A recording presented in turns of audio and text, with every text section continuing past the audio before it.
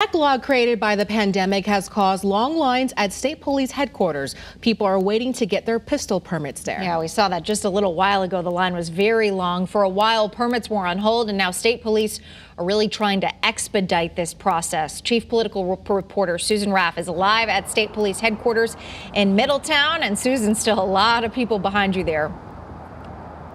Still quite a few people. You really don't often see long lines outside the state police headquarters here in Middletown, but the line is definitely getting smaller. When we got here, it was way out into the parking lot and down the street. These are people who already have appointments to get pistol permits, and now they have an opportunity to come down here anytime. Long lines from the door all the way down into the parking lot. People were waiting to get their pistol permits. When Chris Jordan saw all of the people, he went to get a chair. I expected there might be a line, but I didn't imagine anything like this. These are all people who have appointments to get a pistol permit from the state police.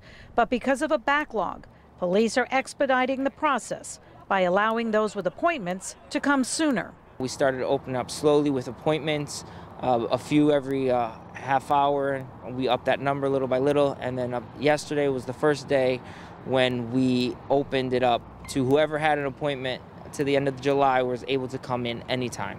These are all new pistol permits. Renewals are done online. What's important to know is you must have an appointment. You can't just show up. These are people who should have received an email with a date to come for their permit. There are more people applying for gun permits. In 2019, just over 14,000 were approved. In 2020, that number increased to nearly 17,000. I've been here since 8 o'clock. This man came all the way from New Milford.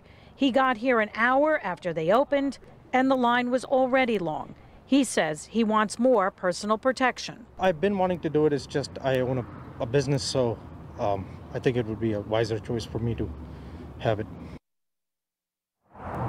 being out here today, we also noticed that there were quite a few women in line, and many of the people that we spoke to say they were all getting their pistol permits because they want more personal protection.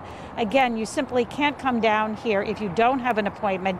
You have to have that before you come down. The hours are 7 to 7 p.m.